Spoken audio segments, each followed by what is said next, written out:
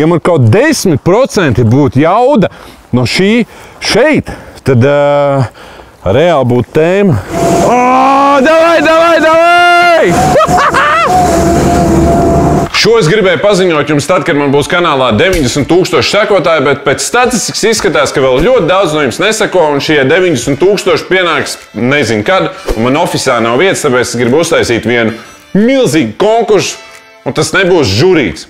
Man sāp sirds joprojām par to žuriju. Par godu gandrīz 806 tūkstošiem sekotāju, par ko milzīgs paldies, ka jūs atbalstat mani kopā ar BetSafe Sports, ar maniem atbalstītājiem, ar kuriem mēs taisam traku saturu un turpinām to darīt. Šodien uztaisīsim vienu no trakākajiem konkursiem šī kanāla pastāvēšanas vēsturē. Es gribu, lai jūs skatāties manu saturu 4K kvalitātē uz 65 colām lielu teļu. Es arī gribu piedalīties. Nē, tu nevari piedalīties, jo tad viss domās, ka tas ir skams. Un es zinu, ka pirmais, ko jūs domājat, ka viss YouTuber taču spēlē 65 colu televizors ārā un tu nepiedalīsies. Tāpēc tas nav viss. Robievorks video štēlē skaņai ir ļoti liela nozīme. Tāpēc mēs nolēmām, ka mēs dosim klāt arī soundbāru, kas palīdzēs tev mūsu video klausīties daudz foršākā kvalitātē, īpaši jau spūkaut trakos beats. Tāpēc šis te arī nāks līdzi pagā. Tev joprojām liekas, ka šis ir tā so-so? Jūs esat nenormāli izlaidušies, klausies. Es saprotu, ka mašīnas gāja vaļā, bet šis ir labāks. Te nekas nebūs jāmetina. Ir vēl viena lieta. Tajā brīdī, kad es jums apnikšu ar saviem video, jūs varēsiet, dāmas un kungi, uzspēlēt jauno Playstation 5. Jāsaprot, šitam nāk iekšā jau spēle God of War, un šis te ir gan digitālais, gan var ielikt disku, tā ka šis ir krūtais plēsis. O, šitajā gan es varētu piedalīties. Nē, nē, Robijorgs nevar piedalīties šeit. Labi, es tāpat gribēju Xbox. Un es zinu, ko jūs domājat. Tagad nu, būs miljons nosacījumu, baigies čakars izcelt šo te pa pāris pačkām. Nē, mēs kopā ar BCF izdomājām, ka šis būs visu laiku viens no visvienkāršākajiem konkursiem šī kanāla pastāvēšanas vēsturē. Un viss, kas tev ir jādara, ir jābūt šī te kanāla Roberts Vītola sekotājam. Es ceru, ka tu jau seko manam kanālam. Un jābūt BCF sports YouTube kanāla sekotājiem, kur viņi arī veido savu saturu tikai tendētu uz sportu. Ir gan podkasti ar dažādiem sportistiem, dažādi šovi, sporta komentāri un tā tālāk. Te arī var noskatīties video, kur ar zināmiem Latvijas sportistiem piedalījāmies BCF izaicinājumā un mocījām manu BMW M4, kur īstenībā var redzēt, ka es biju nu, diezgan satraucies. Visas sērijas tur var atrast un noskatīties. Un jāraksta komentārs zem šī video, kāpēc tieši tu vēlētos saņemt šī šīs lietiņas. Un pēc četrām nedēļām es savā YouTube kanālā, kādā no nākamajiem video, tad arī izlozēšu vienu to laimīgo. Un es skatīšos pēc šiem komentāriem, tāpēc ir ļoti svarīgi, ka tu atstāji komentāru. Un tev būs personīgi jābrauc ciemos pie mums uz Liepāju, kur mēs tev arī šīs lietiņas pasniegsim, izvedīsim tūrē pa mūsu studiju un iespējams Renčiks tev iedos pabraukt ar žurku, ne? Viņi nestrādā. À, viņi neiet. Nu, labi, tad tu vienkārši tiks pie šīm stāvlītēm. Tā kā jā, piedalies un vēlreiz milzīgs paldies BetSafe Sports par to, ka ir iespēja iepriecināt savus skatītājus. Es ceru, ka tu jau seko šim kanālam. Kas tev ir? Iepriekšējā benzīna motora versija bija ļoti kompakta, attiecīgi derēja smuki vannā. Bet tā kā mums šobrīd ir lielāka jauda, lielāks motors, un attiecīgi to visu ielikt vannā, tādā kompaktā versijā, nu nācās mazliet pasvīst.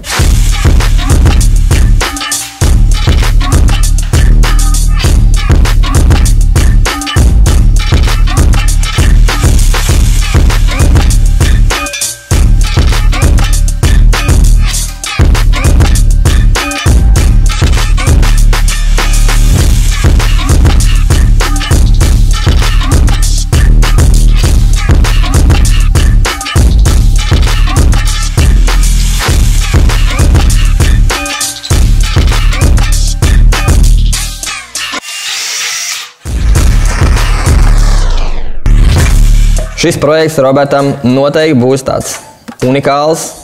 Es ceru, ka viņš ar apdrošinātājiem ļoti, ļoti labi aprunājies, jo noteikti tas viņam noderēs.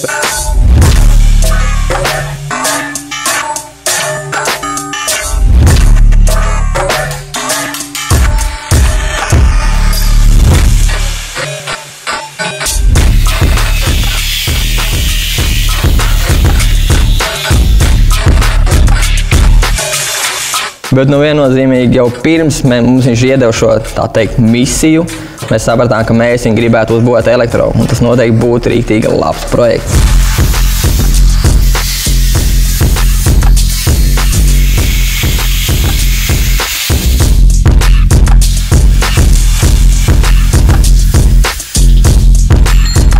Es savā galvā jau spēju iedomāties šo vānu ejot slīpi tandēmā ar kādu no Roberta Vītola bēmiem noteikti.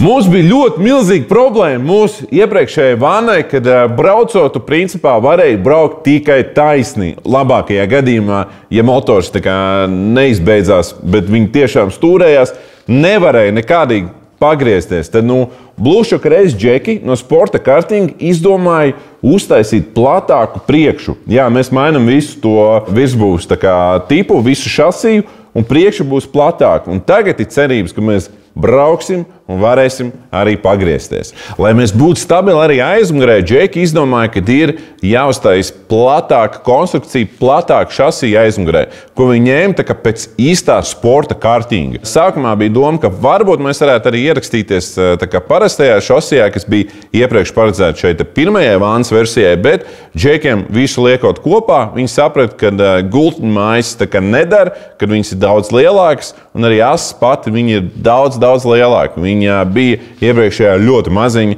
bet tagad uh, sapratu, ka viena, divas, trīs lietas vajadzēja mainīt. Tad sapratu, ka viss tā šasī ir jāsamaina, lai tomēr būtu smuki, jaudīgi un varētu visas primambas salikt virsū.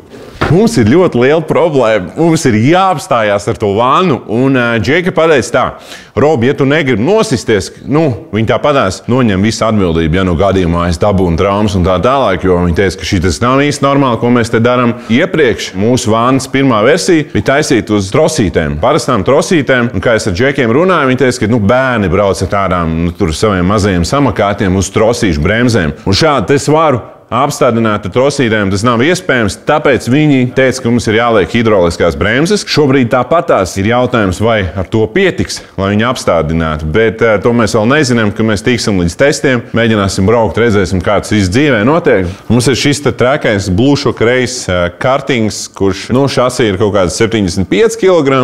Kad viņi saliek ar visiem pribām basiem, tad ir kaut kāds 115, 120 kg. Tad mums ir viņa īres kārtings, kurš te top galā. Viņš būs mazliet smagāks, tie būs 140 kg apmēram. Nu, tāpēc, ka tie ir visādi drošības pribambas virsū. Jo tas ir, nu, tur bērni brauc un tā tālāk. Un tad mums ir mūsu vanna, kas šobrīd man, nu, mums nav kur īsti nosvērt tagad. Viņi varētu būt kaut kādi 200 uh, plus kilogrami, plus ar manu svāru tie būs kaut kādi 300. Un tad mums ir tiešām jāizdomā, kā mēs viņu apstādināsim. Tā nav joka lieta. Ja mēs mēģināsim attīstīt kaut kādu 100-120 km/h, tas būs uh, izaicinājums. Nevar sagaidīt testus. Te vēlreiz pierādās, ka džeki nav krituši uz mutes, un uh, viņiem vajadzēja atrast risinājumus, kā šo elektromotoru un bateriju un visas pribāmbās salikt iekšā. Ja mēs paskatāmies pirmajā vānas versijā, mēs redzam, ka nu, iekšdedzes dzinēju ļoti vienkārši iesēdinājām iekšā. Vajadzēja mazliet pazāģēt, bet tas vi, tur nebija baigi daudz lieku pribāmbās, kam domāt, kur viņas visas nolikt. Tad tagad elektromotoram, kā mēs redzam, tam mums vajag kājiņas uzmetināt, lai mēs varētu kā baču ielikt iekšā visu lielāku to motoru un zēsi un visu pārējo zobrats. Visu to vajadzēja izdomāt, kā pareizi un sakarīgi ielikt iekšā. Un tur ir rīktīgais MacGyver skills, lai to dabūtu gatavu. Un plus Čaļi darīja un ņēma resursus, kādi viņam ir pieejami. Jo skaidrs, ka mēs cenšamies arī šīs izmaksas maksimāli zemākas. Nu, viņas tāpatās ir milzīgas, bet maksimāli zemākas no tā, ko viņi var atrast šeit, kas ir blūša kreis, ko viņi liek savos lielajos kārtīgos, ko varētu piemeklēt šai vannai. Jo viņi ļoti labi apzinās, ka arī tās pašas bremzes viņām vajadzētu būt vēl lielākām un tā tālāk. Bet tas maksimālais, arī teiksim, zobrats, tas ir lielākais, kāds viņiem šeit ir pieejams. Viss tiek salasīts no tā, ko mēs šeit varam atrast. Skaidrs, ja mēs būtu kaut kādi amerikāņu youtuberi un mēs varētu pasūtīt detaļas visdārgākās un paši izveidot no nulles visu, es domāju, ka tas rezultāts būtu varbūt vēl afigēnijas. Bet man liekas, ka ir interesanti apskatīties, kā čaļi no tā, kas viņiem te ir, kad viņi spēj šo visu dabūt gatavu. Laiks tam, ko visi jūs gaidat un esat pelnījuši redzēt. stilīgā vannas montāža. Šis vānas projekts ir viens no maniem vairākiem projektiem, kas ir bijuši. Kas ir interesanti tajā projektā, ir tas, ka man ir tik dota pilna teikt, rīcības brīvība, ka mēs darām tā, lai viņa būtu labākā, ātrākā. Šī noteikti pēc pabeigšanas vairs nebūs rotaļlieta. Šobrīd no malas izstāsta, ka tas ir smieklīgi un braucoši vāna, hihihaha. Bet tajā brīdī, kad nospiež teiksim, elektrības pedāli, joki kļūst mazi un ķīveri ir nepieciešams.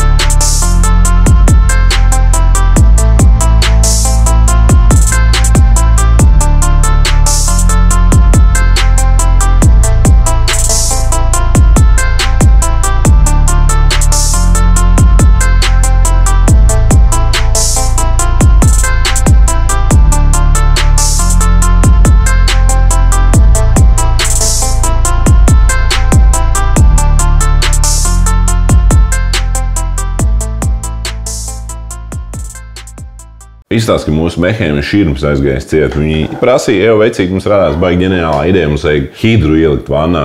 Es domāju, kā vispār to var izdarīt uz elektromotoru, jo, nu, saprotiet, tur tā visa tā sistēma ir mazliet savādāka. Bet viņi saka, ka Robi, nemīns, viss kārtībā, mēs visu kontrolējam. Man liekas, ka mēs reāli nosītīsimies ar šo vannu, un šis būs mūsu pēdējais video. Bet ejam uz galam. Es esmu nopircis uh, hidru rekordu. Neskopojos nopirkt kā Wildwood kā, labo cilindrīti.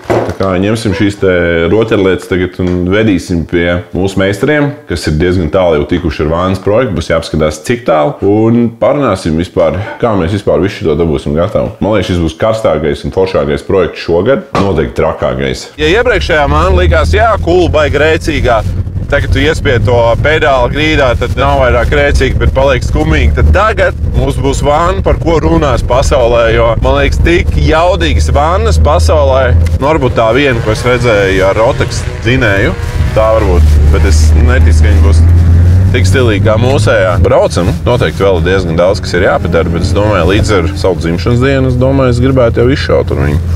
Tad, tad ar vasaras sākumu būtu forši pašaut vaļā. Nu, nav baigi daudz laiks palicis vēl.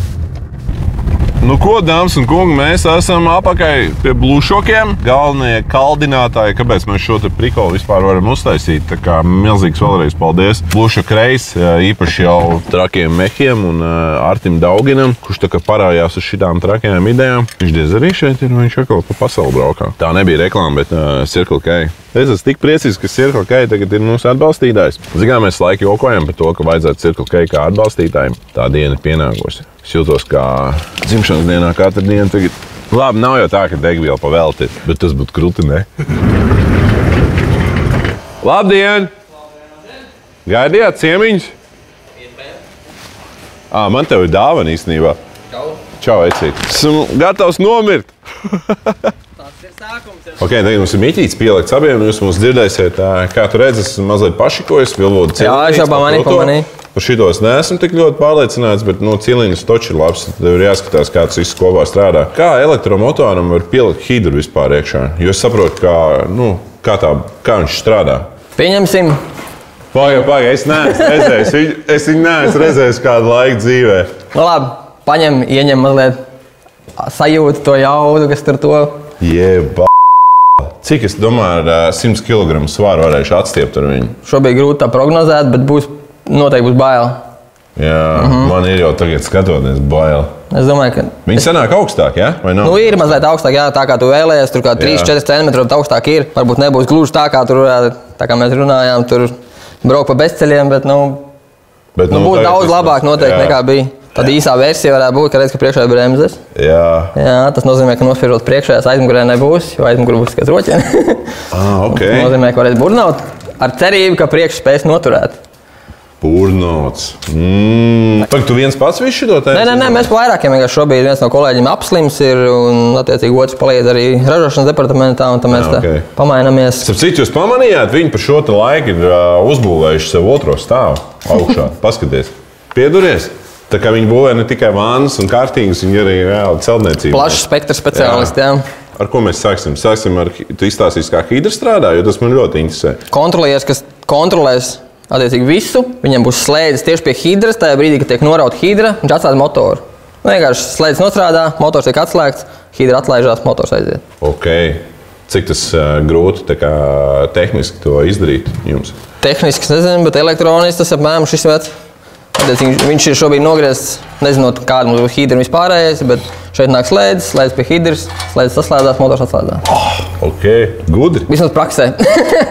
Teorētiski. Nu, praksē redzēsim, kā tas sanāks. Jo tā jauda būs rīka tik daudz. Un... Starp citu, ja ir kāda laba dzīves apdrošināšanas kompānija, kas šobrīd skatās, es labprāt noslēgtu kaut kādas sadarbības. Šī vāna būs jaudīgākā pasaulē. Iespējams, cerēsim, solīt nevaru, pēc sastelēsim, brauksim. Bet nu, mums vajadzētu Ab- iet uz to, ka mēs esam jaudīgākā vāna pasaulē. Pareiziem zobratiem, es domāju, ka 100 km/h viņam vajadzētu uzskriet. 100 km. Tas tā kā minimums. Šobrīd grūti 160 prognozēt. Ir nevarētu dabūt, ne? 160, nu labāk nē. 140. es teiktu, 120 būtu maksimums. Jā, Viņš vairāk. Bet tas ir kārtīgs, attiecīgs vānas svars. Un... viņš pieliekās, un bieži, bieži varbūt tomēr būs lēnāk. Jo maksimālais ātrums šobrīd ir bijis 128 varētu būt. Uz uh, Ar kartingu, sporta ar kartingu, jā. Ah, okay. Nu, tur pilotam arī jāzina, ko darīt. Tomēr pie tāda ātruma tur ātrums kļūdas nepiedod. Dzīves apdrošināšana. Tātad, ja ir kāds, kas ā, nezinu, strādā kādā labā apdrošināšanas kompānijā, es ļoti priecāšos, ja jūs man uzrakstīsiet Instagram piedāvājumu. Es gribētu sev apdrošināt uz nākamo video. Cerams, kāds atbildēs. Bet tu domā, viņš pie tā 128, ja viņam vēl atļauj ieskrieties, viņš to kā vairāk nespētu. Kā... Es runāju par trasi, es runāju par uh, taisni. Nu, var būt, bet es domāju, Viņš sadalītos tajā momentā, nu, es domāju ka nē. apgāstos. Nu, ja kļūdīsies, Tas ir tad spoilers. apgāztos. Jā, ticamā. jā. tas cerams, ka viņš noturēs pie zemes. Spoilers ir labs. Šis ir uh, jā, tur ieņem. AB metāla. Jā, abi metāls mēs jau sarunājuši. Lēnām tā labi parunājām viņu. Tā Kā, nu, mēs uzliksim jūs, ar, ka tu palīdzējāt mums. Un tad mēs tikām pēc spoileriem. Jā, vai forši AB metālam, paldies. Re, kur pasās, re, kur ir mūsu Robijorks, re, kur ir BSR, re, kur arī viņi. Vai forši. Ja pietiks laika, tad uztaisīs labāk šādu tādu ledīnu aplikstu, lai spīd cauri. Ok. Bet nu, tas ir attiecīgi tas ātrums nemazina. Nu, tehniski Šobrīd... mēs ar šo neiziesim. Nu, nē, kāpēc? Teorētiski kritiņa vairāk nekā spoileri. Jā, īstenībā, jā. Tas skans, kādam galvu nošķēdīsim. Bet tā sajūta, ka uh, grūtāk to visu izdarīt, vai tā kā tu biji iztēlojies, tā arī. Teiksim, tā nav grūtāk, bet ir laikietilpīgs. Jā. Šobrīd arī vēl visādi sīkumi, tomēr to pašu ro- rokas pieliksim. Tur gan jau kā vēl būs mazliet kaut kas jāmodificē un nu, izdomāsim, izdomāsim. Nav tā, ka grūtāk, vienkārši ir laiks, aizņem visādi sīkumiņi. Jā, un kas, kas, kādā fāzē mēs tagad esam, kas mums tālāk jādara? Jūs mēģināsiet to hidru tā kā? Jā, tas bija tā- tas lielākais, ko es gribēju dabūt, lai zinātu par trubiņām, lai viņas var vispār pievienot. Attiecīgi, lai var apstāties vēlams ar viņu pie 130 km/h. Tas būs tā kā tāds galvenais no aspektiem. Bet šobrīd es domāju, ka vēl diena, un varēs pirmos testdrājus uztaisīt. Okay. Ar pilno jaudu, bet nu, vispār pārbaudīt, kā viņš turās, turējās, bremzējās. Sanāk, man ir brēmas tikai priekšā, aizmugurē nebūs. Jā? Aizmugurē būs ar roķeni. Uz roķeni. Jā. Teorētiski viņas abas kopā varēs ar rautu. Tas sanāk. Jā, mm -hmm. Nu, jā, nu, priekšā aizmugurē bija viņa kā pietur. ļoti labi. Vajadzētu pir pirmo braucienu, saprast, ka viss ir kārtībā, ka nekas neko nebēržās, vai kaut kas cits, kas jāpieslīpē, jānogriež vai jāpiemetina. Jo, kad nokrāsos, nu, tad vairāk tāda darba netiks darīti, lai viņš paliek tāds tāds. Jums kaut kāds pārsteigums, tāda, nu, kaut kāda pašiem, kaut kāda atklāsuma, veidojot šo projektu. Līdz šai stadijai kaut kas ir bijis tāds. Ar savu pieredzi, teiks, man nepārsteigs daudz vairs nekas. Bet nu, ir šādas lietas, kas tika iemācītas. Saprast, kā darīt un kā darīt savādāk nākamreiz. Vadāmies pēc faktu. Džeki man uh, rakstīja kaut kādu laiku atpakaļ. Viņi teica, ka, nu, ko mēs darām ar veco dzinēju, un ko mēs vispār darām. Kāds ir plāns? Man bija tāds, nu, nu nē, nu, nav nekāda baigta plāna. Tad čāļi jau, protams, viņiem ir motors un vairāk neko nevajag. Viņiem radās baigā ideja, ko viņi var izdarīt. Un viņi ir uztaisījuši savu mazo sam samakātiņu. Veči, do. Jums daudz vispār nebrauc augumā, kad jūs tā kā. Mēs iekšā nelaižam vienkārši tur. Viņš nezina, kas tur notiek. Tā kā. Nu, Jā, šis, nu nav tik traktori, un paši iegulda kaut kāds līdzeklis. šis dāmas un kungi ir uh, vecais uh, vānas dzinējs. Iekšā jaunā aparātā, kā saucās šis te vērķis. Vēl nav pat nosaukums viņam iedots. Varbūt mēs varam Jā. skatītāji var izdomāt, kā, kā Var padomāt. Un varbūt tas, kuru vārdu mēs paņemsim, viņš varēs atbraukt viņu. Jā, mierīgi. Jā, Jā, rak- varam sarunāt. Tā O, kā re, kur vēl viens? izdomāsim. Vēl viens trakais čoks atnācis čoveci. Pasaka, čau, māmu! Čau, mamma! Jā, tā kā rakstiet komentārā, kā jums liekas, kā šo te uh, samakātiņu mēs varam nosaukt. Kā jums radās vispār ideja šo te visu darbu? Īsumā tas motors nebija tas, kas mums pa, tā kā bija pirmais, kāpēc mēs viņu taisījām. Viņš jau viss bija. Jā. Plānojās uz elektro, protams, kā jau mēs to darbojamies. Un tur parādījās motors, viņš tieši derēja. Un, attiecīgi, tur divas dienas Šis viņš- tās tiešām ļoti perfekti tur iet iekšā. Tieši tā kā būtu izmērīts. Nu, tā kā radīts. Vai jūs viņam kaut ko arī tehniski darījāt? Nē, viņš ir tieši tāds, kāds bija. Tāds ir ielikt iekšā. Un kā viņam pēc jaudas, tā kā nu, uz vānu bija diezgan sūdīgi. Jā, un šito ir viņš ir savā īstajā vietā šobrīd. Jā, un tas ir tā, ka viņš ir vieglāks. Jā, palielam tas ir tīrs svars. es domāju, ka- Skatos, arī kur āķīts priekšā. Nu, jā, tas tur teiksim, tā, mazliet, vajadzēja mazliet savādāk visu to pasākumu. Viņš ir pa īsu, tāpēc ir akumulators, lai būtu svars priekšā, un lai viņš Jā. neraut ratā. Jā, jā. Bet viņi tāpat var parādīt. var, var, protams. Vai jums labi apdrošināšana ir? Jums pašiem nevajag dzīvības. Nē, zini, kā, ja tev kāds sazinās ar tevi, tu padomā uz ziņu. Ah, jā, tad, tad jā, ir Mēs varētu kopā paņemt, zini, kā pa lētu, Mēs- varbūt mēs, vairāk. Jā, mēs, mēs vairāk reizē ņemsim, jo šiem čaļiem izstāsta, ka vajag vēl vairāk nekā man. Tas jau nebūs tā kā īsti es tā kā neiztestēšu jauno vērķi. Lai es parādīšu, varbūt pirmais. Jā, Ar vajag dzīves apdrošināšanu. Nevajag. Ideāli. Nav ar galvu jābrauc. Ar galvu jābrauc kā tas.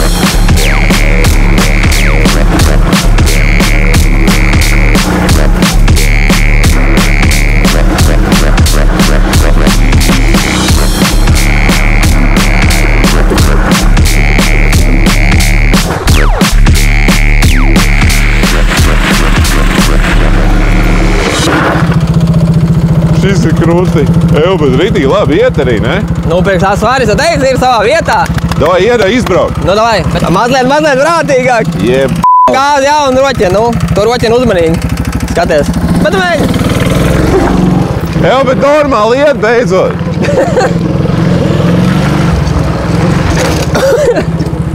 Vāna ir ļoti smaga, bet šeit viss tas svars ir diezgan loģiski uztaisīts.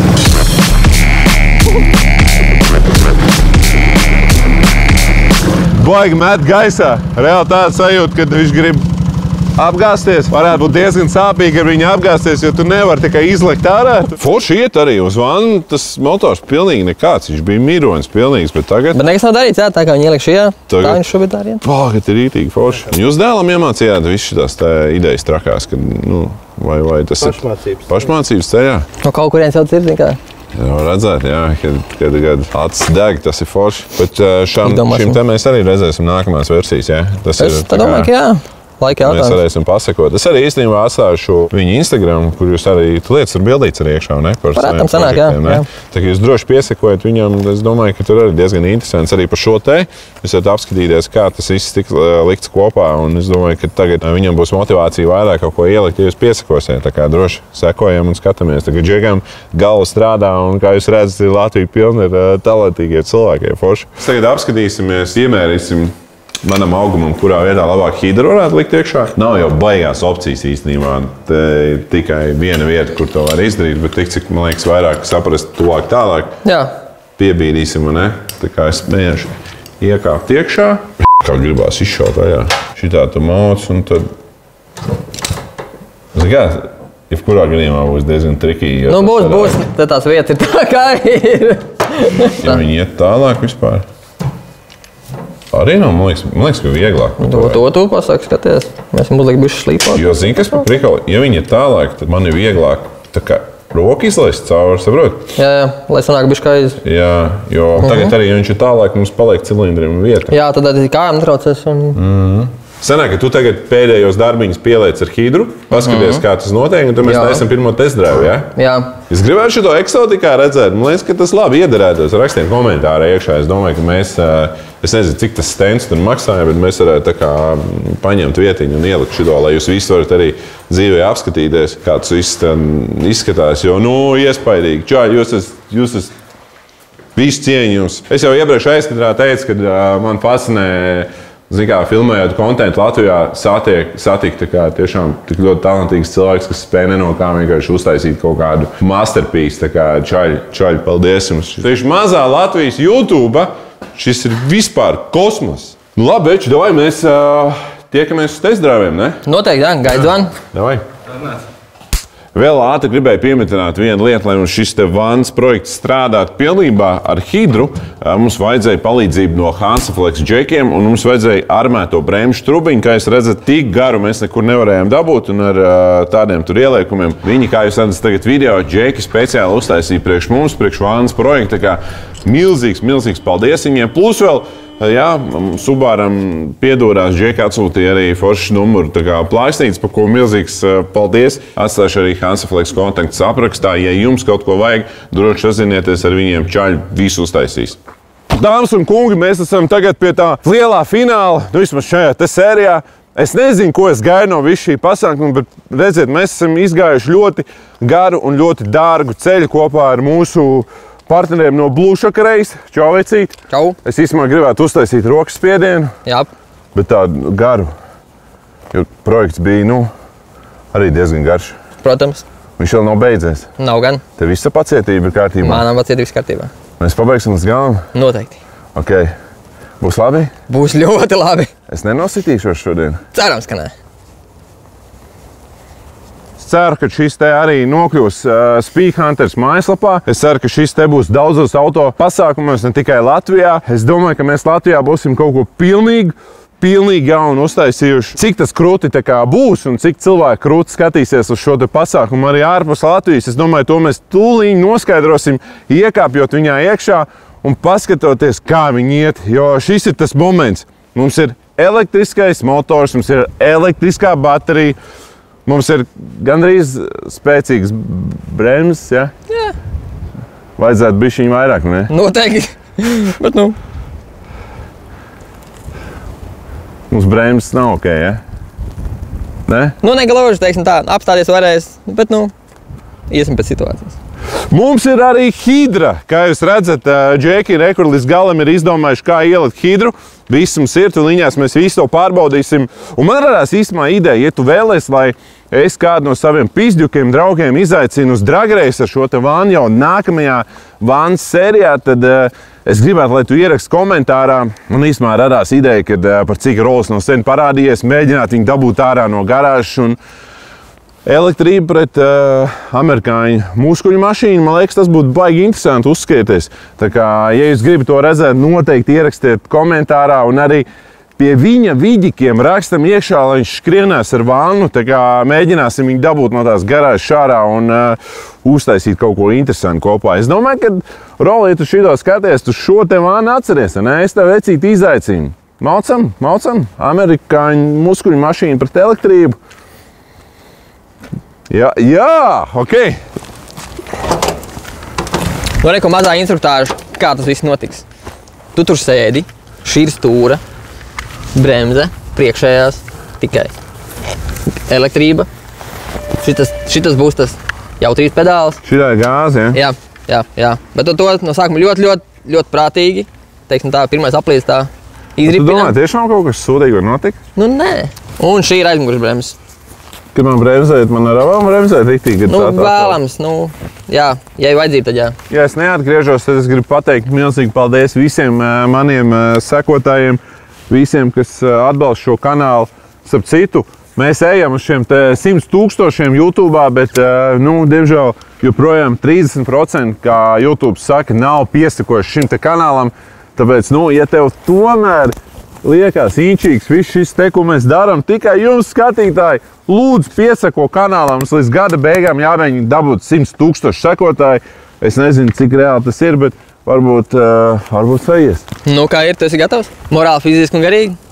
Es esmu gatavs. Mums nav drošības josts kaut kāda. Nebūs labāk, lai tu izkrīt, nekā paliec viņā iekšā. Ah, ok. Ok, gatavs? Jā. Tagad ieslēdzu. Pietur bremzes, ja nu gadījumā kas. Jā. Un tagad ar mēnesi braukt prātīgi priekšu. Sāksim rītīgi prātīgi. Jā.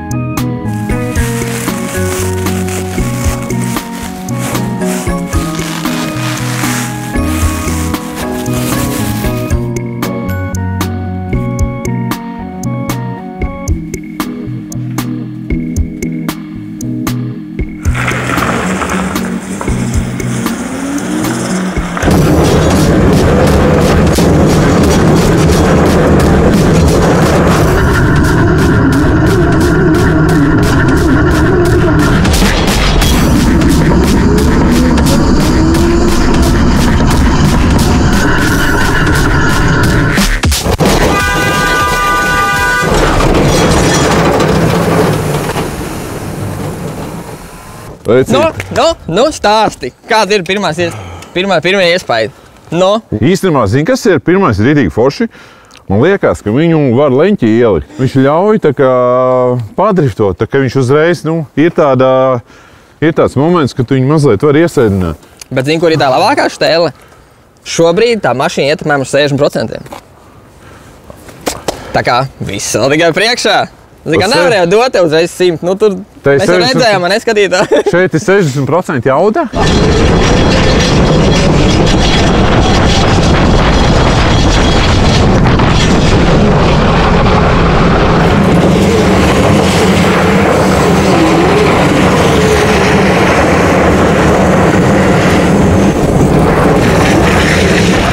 Tu zini, kā ir?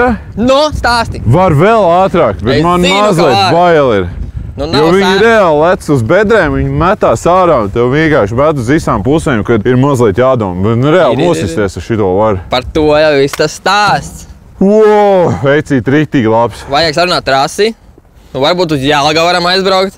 Varam kādu apli laiku varētu mēģināt uzstādīt viņu. Šitas, šitas, veiči, šitas, es nezinu, vai jūs kamerā to fiksējat, bet tas, tas kā viņi iet un kā viņi uzvedās, viņi pirmkārt viņi stūrējās tagad daudz labāk. Ja viņš teica 60% šobrīd tikai jau, tad ir jau tā, ka es arī šeit taisnēju, es varēju vēl, vēl kaut kādiem 20% ātrāk braukt, bet uh, kad viņš pat tām bedrēm uzsit, tev vienkārši liekas, ka viņš tā kā pilnīgi gaisā paceļās un tev tā, tā, tā stūra iet. Uh! Čai mēs esam visi kopā uztaisījuši kaut ko ļoti, ļoti īpašu. Ļoti īpašu. Bet man liekas, mēs joprojām neesam beiguši mūsu testus. Man liekas, mums ir vēl jāpatestē.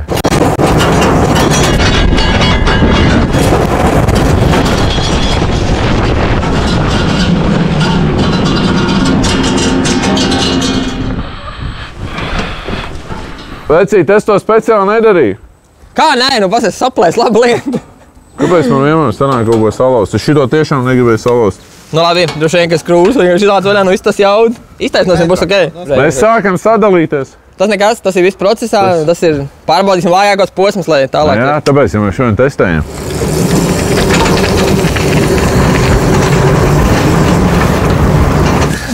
Robi. Mēs esam noķēruši Artu, un uh, 20 reizes viņš man pasūtīja dirzi, ka viņš negrib kāpt šajā vanā, bet 21. man sanāca viņu pielauzt.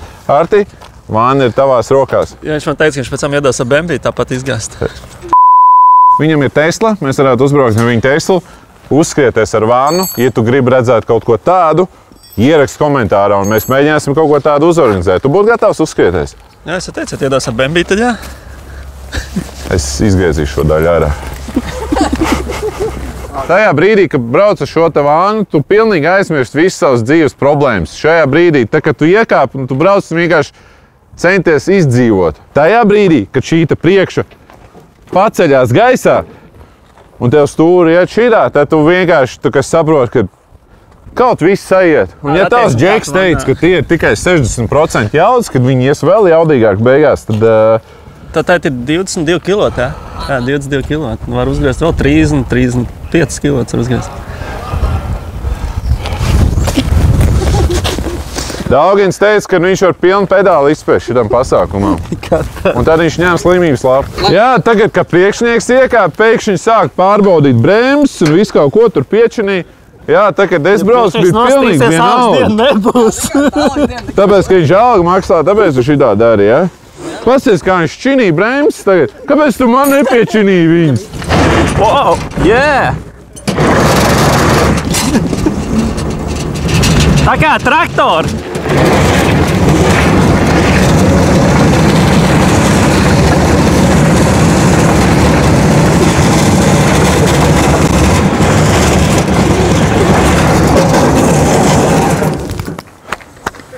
Izbeidzās riepa? Jā, izbeidzās. Nu, bācis tikai trīs rullīši. Daugien tev neko nevar dot, pasties, kā, kā. Es jau saplēsu remontu. Jep. Tā ir mana atriebība par to, ka man nesataisīja bremzes. Es gatavu liekas, man liekas, šo te varēs arī īstenībā padriftot, jo es jau tagad, kad mēģināju, viņu var dabūt leņķī. Es domāju, ka būs baigi grūti, bet īstenībā viņi pat var uh, iesaidināt. Es domāju, ka nē, iesēdināt jau tu mierīgi varēs. Saka, tev vajag uzlikt kaut kādas, nu, bišķi cietākas riepas no kaut kāda nomnieka kartinga, lai tā nav tik mega, nu, tāda jaudīga saķera, un tad viņam vienkāršāk ir noraut no tā pašā vannā. Bet viņi īstenībā diezgan stabils, domāju, ka viņi būs tādi, nu, trakāki, bet tagad bija tā baigi. Forši, ne? Nu, mega mīziens nenāca. Nu, pirmais ir tā, Labi, grūti. pamēģini atstiept taisnē. Kā tev liekas, cik mēs beigās varētu taisnē ar viņu izspiest? Simts pāris sotakam varētu dabūt, ne? Šitā tev skriemēlis, ar šito tu varbūt kaut kāds bišķi, bišķi pārpas otāk, bet, nu, ja tu uzlikt tādu normālu skriemēli, tad mums grib braukt uz Gotlandu 150, 160, es domāju, mierīgi. Bet tā nevajag. Bet tā nevajag, jā. 150, 160 jūs dzirdējāt? Jūs gribat to redzēt? Daugins uztestēs. Jā, pasties, atkal brauc un atkal viss pieskrūvē. Jūs redzējāt kaut kādā brīdī, kad es braucu, ka viņš kaut ko darīja pie tiem riteņiem? Es zināju, Tu uzticies man, jā. Mm. ka katriem testiem tev jāpārbauda riteņi, skrūves. Jā, jā. Nu, tā vienkārši ir. Tad, kad es pēc tam kāpšu apakaļ viņā, es ceru, ka tu arī pārbaudīsi. Mēs piešķiram klāt. Pats būšu reiz priekšnieks. vienkārši. Paskatieties. Āmen. Vai? Ej, dīrs! Tas bija tuvu. Viņš gan arī iepis dienā tikko. Bet nē, nav, nav tik traki. Es domāju, ka būs trakāk. Nu, uzspied varbūt. Pak, pak, pak.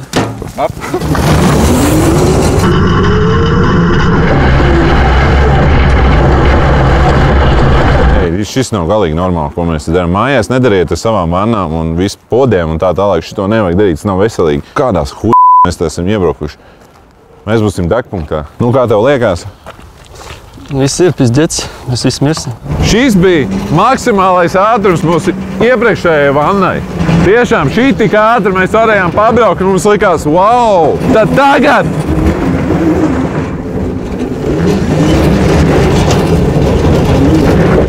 Šitām riepām tiešām saķeri labāk.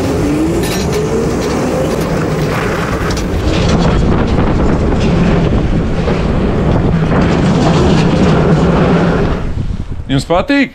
Nu, briesmīgi, es teicu, tik ūdeni vajag ieliet, ko tur vannu bez ūdeni. Būtu ūdens tajā būtu lustīgi. Mēs vēl testējam, procesā viss vēl ir. Es jau zinu, man jau mazdēls rādīja šitos brīnumus, kas tur notiek. Super. Jums veicās. Paldies jums! Paldies! Atā! Atā. Jauka jums diena!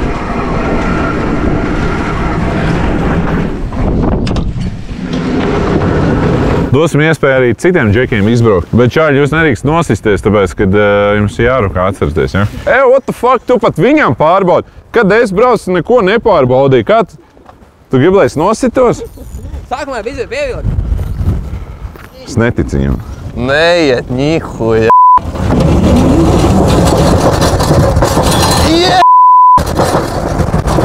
Zinot, Arčs, viņš reāli nositīsies vēl ātrāk nekā es. Bļāņš, tu redzēji, kā viņš brauca? Arčs, tu esi atlaists, nesaplēs manu vannu. Viņam nevar ļaut pa šiem taisnēm braukt. Viņš ir psihopāts. Viņš pat pavasarī brēs batuts un viņš nositās. Nu kā ir? Viņu var apdauzīties. Bet, zini, tagad viņa vismaz ir. Jā, vai ne? Ir cita ģēle. Iebrauks aplītī, ne? Jā. Neliekas, ka viņi metās gaisā? Viņa ir rīktīgi metāls, un kad tu dod gāzi, viņa vienkārši dzīvo savu dzīvi. Jā. Tā kā, n- es nezinu, cik liela jēga no stūres ir. Varam šito stūri noskrūvēt nost.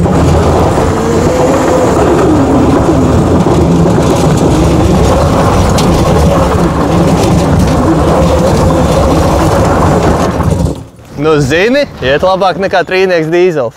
Do labi, tu to pateici tikko. Viņš pirmo reizi atzina, ka iet labāk nekā trīnieks. Ew! Nu, tā kā, zini, pa M-ku iet labāks trīnieks dīzels, bet šis augšgalā. Tik nērta pozīcija.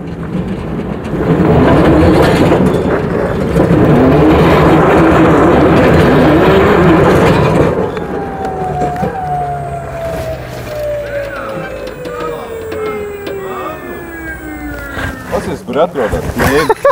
Nenāk. Bet nu, tā ir laikam, tāpēc jāiedod čomiem No komandai izbraukt, jāiztestē, jāsaprot vājās vietas. Ko nu? Ko tu vari pateikt šajā gadījumā? Neko, viss kārtībā. Process.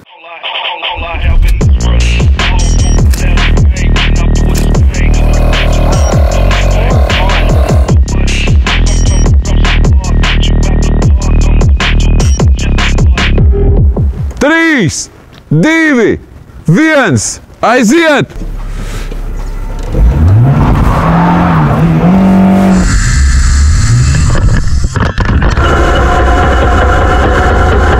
Davai! Aiziet, aiziet, aiziet, aiziet! aiziet.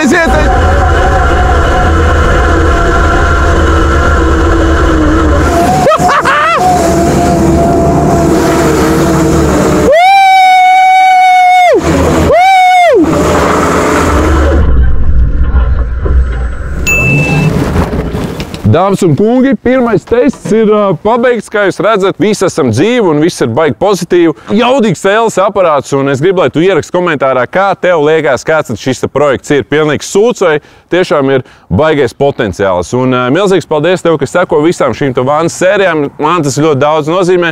Gribu pateikt paldies mūsu atbalstītājiem Bluša Kreis par to, ka vispār ir iespēja šādu te projektu uztaisīt. Manam lielajam atbalstītājam Betsafe un, protams, visiem pārējiem, kas skatās, spiež tos laiku. Un, ja tu nospiedīsi laiku šim video, pavisam noteikti man sanāks pierunāt uh, Dauginu ar Teslu.